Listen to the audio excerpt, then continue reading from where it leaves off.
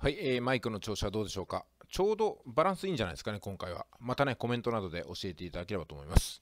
で、逆にですね、この FX の方、どうでしょうかね？あのー下の方にぐっと向かうということだったんですけども、ブレイクしましたね。ゾーン終わって。やっぱりね、このレンジオプションを引いていてよかったなと思います。そして、ぼちぼち終わるんじゃないかなってこともね、考えていたんですけど、終わりましたね。こういう風な形で、ブレイクして、ここをね、ぐんと下の方に行ってくれました。これは、え下に伸びたのを確認してついていってもですね、十分取れたと思います。未だにまだ利益取れてると思うんですよ。でかいですよ、今回は。え1時間軸から4時間軸の方へ移っていきます。4時間足見てください。もうはっきりしてますね、この、えゾーンを抜けて、レンジを抜けてですね、大きく下行きましたね。うん。これ、侵入角と同じ方向に抜けたってことなんですよ、だから。はい、上から入ってきてレンジを作って下に抜けたと。これもねよくある、パターンですね。フラッグとかでこういうのよく起きますよね。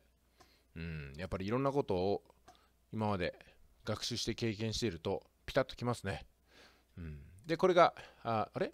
これがちょっと待ってください。冷やしを出さないといけないですね。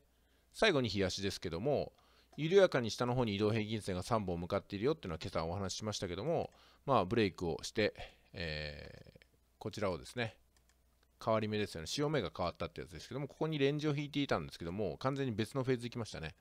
で止まるのがやっぱりこことこことここに遡ってくるわけなんで今度はねここに線を引いて次の展開を待つような来週だということです。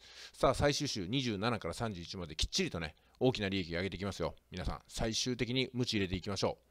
えー7月はね5週目までだったんでかなりポイントが取れたんじゃないかなと思います。ただねレンジで苦しんだ方もいると思いますからやっぱレンジのね勝ち方っていうのを今回あの動画の方が残ってますんで何回も見て確認していただければと思います。やっぱレンジをね、えー制していかないといけないのはというのがねあの全ての相場の3割ぐらいが値動きの激しいトレンドなんですよ。で7割はレンジなんですよね。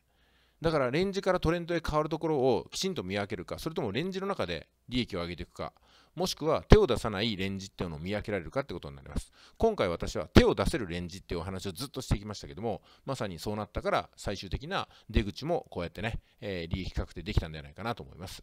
えー本日、そして今週は以上です。本当にありがとうございました。お疲れ様でした。